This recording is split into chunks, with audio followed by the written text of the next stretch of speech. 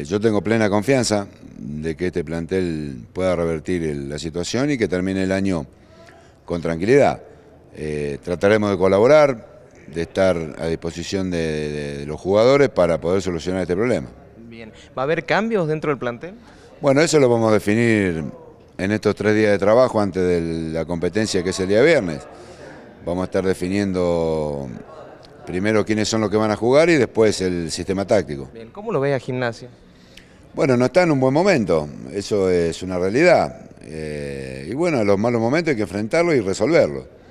Eh, primero con tranquilidad, con trabajo y tratando de, ordenarse y, darle eh, al plantel las herramientas como para que puedan solucionar ellos adentro de la cancha los problemas. ¿Falta definición? Bueno, los detalles no, no, eh, no voy a entrar en los detalles, pero sí, la realidad es que no está bien eh, futbolísticamente el plantel y hay que resolver ese problema.